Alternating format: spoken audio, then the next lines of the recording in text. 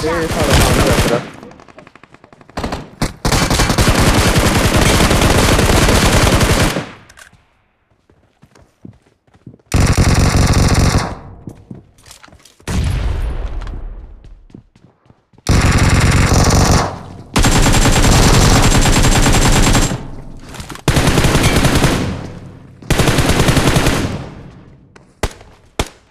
ਸਾਹਮਣੇ ਨਾ ਹੋ ਜੀ ਸਾਹਮਣੇ ਦੇ ਕੰਟੇਨਰ ਖੋਲ ਕੇ ਆਈ ਆ ਜਿਹੜਾ